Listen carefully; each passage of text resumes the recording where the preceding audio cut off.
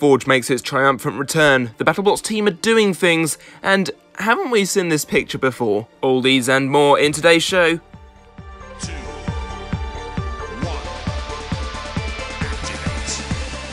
Hello and welcome to This Week in Robot Combat, a new show about everything to do with robots in most weight classes. I'm taking all of my newsfeed from Facebook and stuffing it all into one video. So without further ado, let's crack on with today's first story. Thank you, past me. Yes, we turn first to Bugglebots and the Dung Beetle Melee, the chance to win the notorious Wooden Spoon. In this 10-way battle, Sir Lancerfrog showed its mettle and took the win, beating the much-fancied Olympic hopefuls the Berg in what some would say a controversial judge's decision. Although actually it was an outright win and the Berg don't know what they're talking about, but hey ho, it was good fun anyway. Well done to Sir Lancerfrog.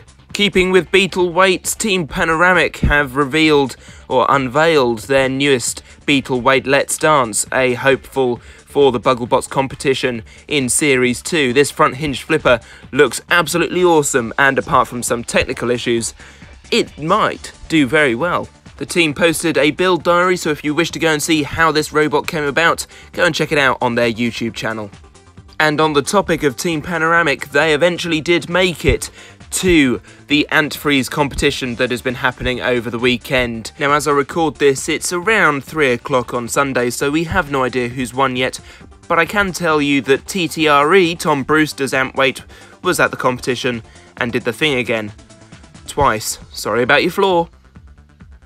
And on the topic of TTRE, the team that made Monsoon and Drizzle for Bugglebots have opened an online store where you can buy weapons at the minute for your ant weights, including the TTRE blade, which in hand is very shiny and very sharp.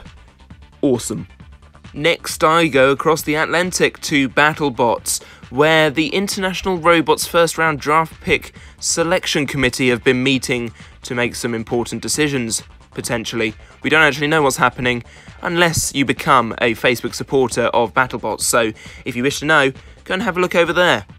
In other news, Team Red Devil will be sitting out of the next series of BattleBots, as they said in their press release earlier in the week.